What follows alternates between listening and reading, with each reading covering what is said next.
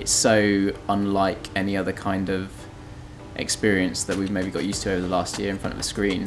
And the wonderful thing about uh, Lucinda's play is that it, it, lends itself to the technology as opposed to having to kind of compromise uh, for the technology. Well, I didn't realise the show had been done before, uh, but, and I just thought it was an incredible response to the last year that we've had because it's just it's about isolation and codependency, and I think that's um, it, it is fun, I promise, but um, just those ideas seem very of the moment.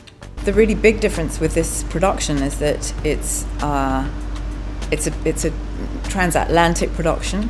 So we have two actors live in the theatre in Soho, and we also have an actor in a studio in Los Angeles, uh, all performing live.